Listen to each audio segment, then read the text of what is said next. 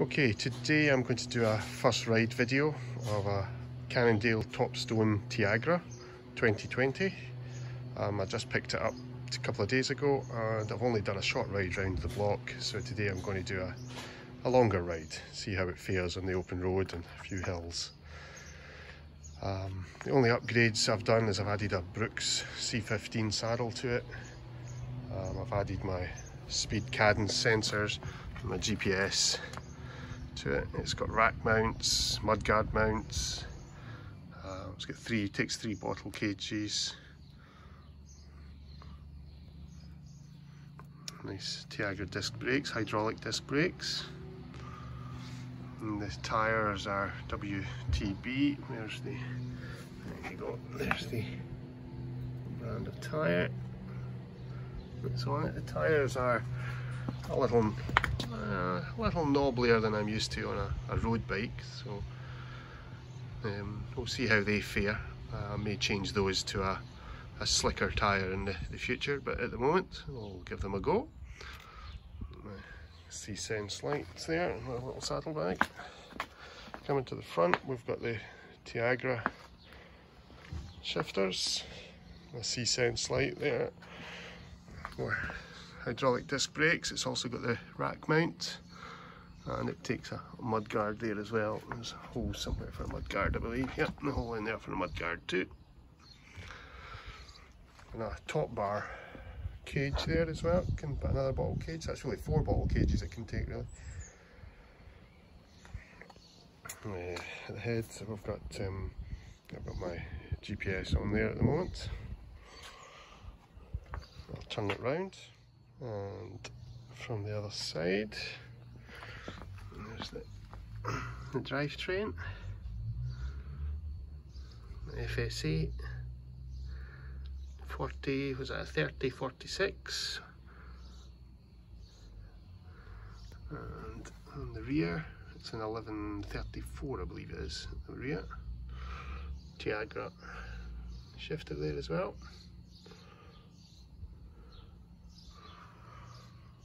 Okay. So that's the bike. We shall take it for a spin. One thing I would like to point out is the colour of it actually. When you, you see the colour on the Cannondale uh, website, it looks a really light sort of minty grey colour. Um, it's not, it's dark grey. It has a dark sort of metallic grey to it. It's nowhere near as light as it looks on the, on the website. Okay, let's go for a ride. We'll see how it fares. Well, I had meant to stop me with a few more updates on the ride, but I'm 20 miles in and I can't stop because I'm having so much fun on it. That has been an absolute pleasure to uh, to ride on. Um, it certainly smooths out the roads, that's for definite. The, uh, those big tyres certainly make the roads an awful lot smoother. Um, is it light? No, it's not the lightest thing on the planet. Um, I, my other bikes are the it's pretty light, it's about 9.5 kilos. This I think weighs in about the 11 kilos, kilogram, so there's a couple of kilos in it anyway. Um, it's definitely heavy, you feel that when you're riding it. However, that's compensated by how smooth it is. Uh, it just eats the, the bumps in the road and smooths everything out. Um, those disc brakes are amazing on the hills for stopping power coming down.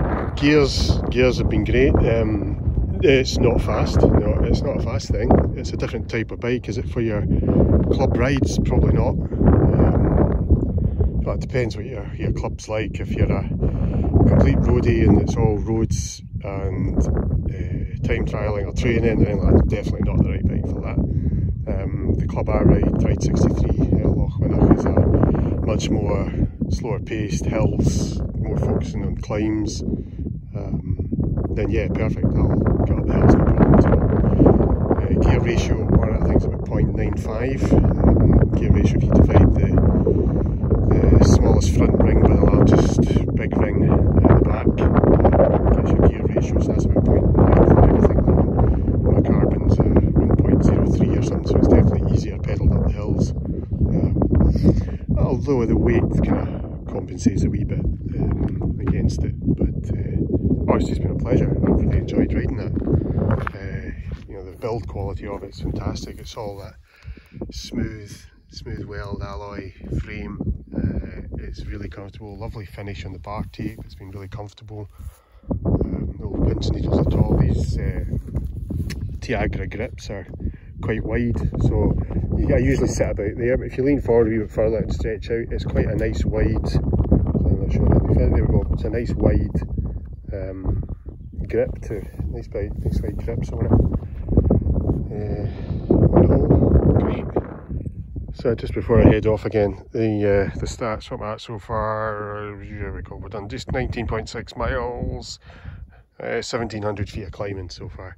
Um, heading back towards that's Glasgow down and I've had my fingers, my finger going to come into the picture. Right, okay, we've got uh, Glasgow down there, we have Clydebank over here somewhere and Erskine Bridge is somewhere out here as well. It's uh, over there in the distance. There's the view, heading home. We'll chat again at the other end. Okay, we're back. Um, final thoughts. Loved it.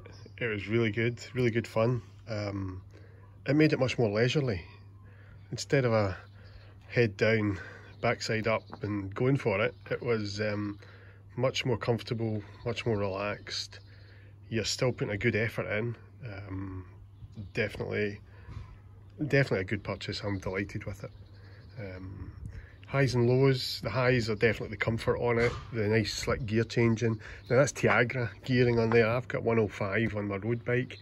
I couldn't really tell any difference in it. It's, is it worth spending an extra 300 quid to get 105? Nah, probably not. I don't think so personally, but I'm sure there'll be advocates on both sides of the fence. So um, personal opinion, I think for uh, Tiagra is, is good enough for that type of bike. Um, it's not as if I'm going racing or anything like that with it, that I need higher spec kit. Um, it was very comfortable. Lows, um, I guess the weight, it's a bit heavier than I was used to on the on the carbon bike. Um, those big tyres, they're quite, you know, they're not the most easily rolling. Um, I'm sure there's slicker easier rolling tyres but they wouldn't be any use if you were decide to take it off road to the the gravels or the the country forest roads forest fire tracks and things like that that it's probably designed for. Um, I'll probably not do a lot of that to be honest. I got it personally more for the the gearing and getting up the hills and the comfort. Um, time for a change. Um, so all in all, I think it's been a great wee buy. I'm delighted with it. I hope you, if you decide to go ahead and buy one yourself, I hope you like it. Um, any questions or anything like that, any comments, please leave them below. Any questions, I'll try and get back to you. If there's any particular bits of kit on there that you want more info on, just hit a message down below. Thank you. Enjoy. I just wanted to make a correction. I mean, talking about gear ratios earlier. This is a 1134 with a um, 4630 on the front. So that gear ratio is 30 teeth divided by the 34 is not 0.88 is the, the gear ratio. I think I said it was 0.95, it's 0.88 is the, the gear ratio. I just wanted to correct that.